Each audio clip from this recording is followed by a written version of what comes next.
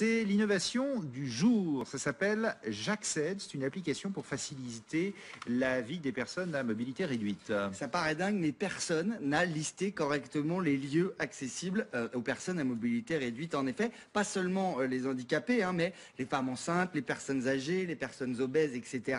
Et déjà dans la vie quotidienne, c'est compliqué. Alors imaginez quand il faut choisir un lieu de vacances et ça approche, eh bien cet été, eh bien voici enfin un site pour regarder quelle station, quel cinéma, quel casino, quel restaurant euh, est accessible. Il y a 27 000 lieux répertoriés sur ce site et donc désormais une application mobile. Il y a même des boucles magnétiques qui vont vous lire ça euh, pour les malentendants, pour les non-voyants. Euh, c'est Damien Birambeau, le président de Jacced.com, qui a créé tout cela et qui explique pourquoi à Ludivine Husson. Écoutez.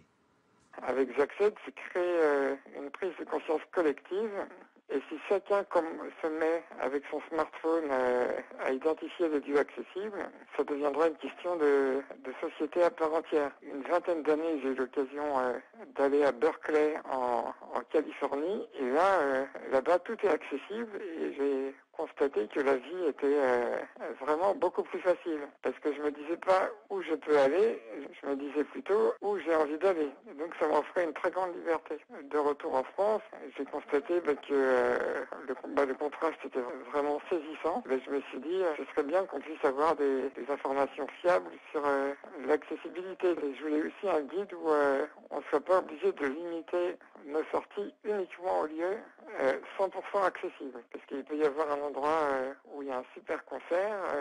si on connaît les conditions d'accès, ben, on n'aura pas de mauvaise surprise et on pourra se préparer en avance.